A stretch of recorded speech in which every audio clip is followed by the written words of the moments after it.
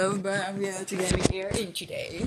I'm going to be doing later on in today there will be a video another vi- uh, video about a special ant.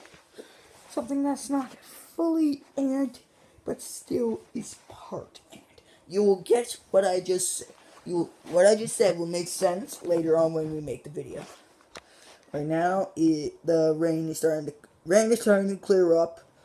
The sun is start come out it's getting brighter you will for surely see the species out.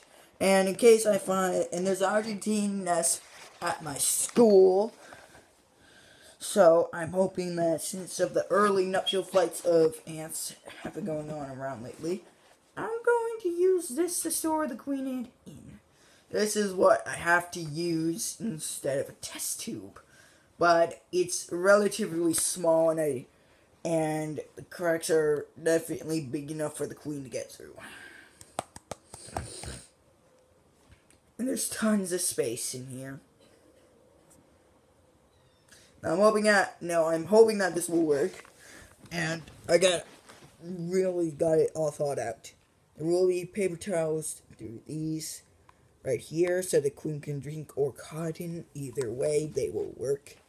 Yeah, I've seen it. I've seen Queen ass drink out of like paper towel before.